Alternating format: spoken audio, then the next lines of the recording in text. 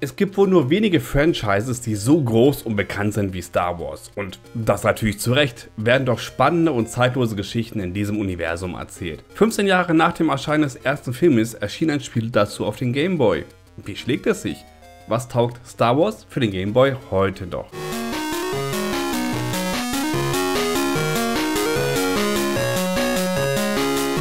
Das Spiel wurde von NMS Software programmiert und 1993 bei uns von Ubisoft veröffentlicht. In Nordamerika kam es ein Jahr früher und wurde von Capcom gepublished. Japan ging leer aus. Neben dem Game Boy erschien es auch auf dem NES, Game Gear und dem Master System.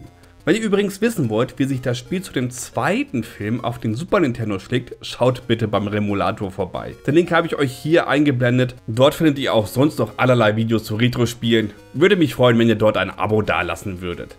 Wenn ihr es jetzt mit der Angst bekommen solltet, hier eine kleine Entwarnung.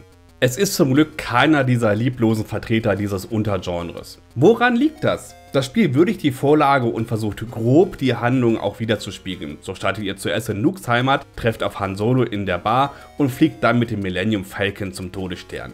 Teilweise wird hier sogar das Spielprinzip aufgebrochen und beim Flug müsst ihr zum Beispiel Asteroiden ausweichen. Im Kern spielt ihr jedoch euren Charakter aus der Seitenperspektive. Ihr könnt klassisch springen und eure Waffe benutzen. Im Verlauf der Story schaltet ihr auch verschiedene andere Protagonisten frei. Mit Druck auf die Select-Taste könnt ihr dann zwischen diesen wechseln und jeder hat so seine eigenen Stärken und Schwächen. Während Luke zum Beispiel später mit einem Lichtschwert angreifen kann, bleibt das Han Solo natürlich verwehrt. Auch das Leveldesign ist nicht immer allzu geradlinig und zum Beispiel auf Tatooine gibt es sogar schon fast sogar eine Open World. Also für Gameboy-Verhältnisse natürlich. Steuerung geht bei allem in Ordnung. Klingt also nach einer durchweg gelungenen Umsetzung. Oder?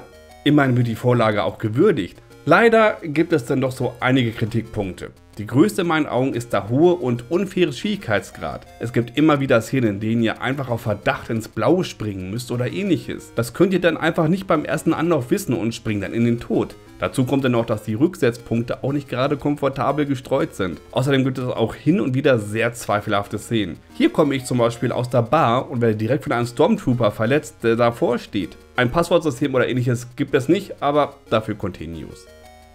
Die Grafik ist grundsätzlich für die Verhältnisse des Gameboys gelungen, hat hier und da jedoch Schwächen. Die Felsbrocken in einer Höhle habe ich zum Beispiel nicht gleich erkannt und habe mich gewundert, wieso diese komischen Gegner nicht erledigen kann. Geht aber grundsätzlich in Ordnung.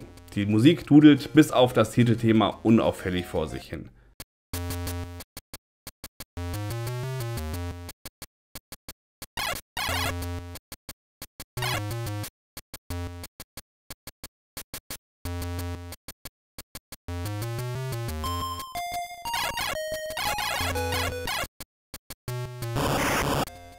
Was taugt Star Wars für den Game Boy also heute noch? Ich bin irgendwie hin und her gerissen.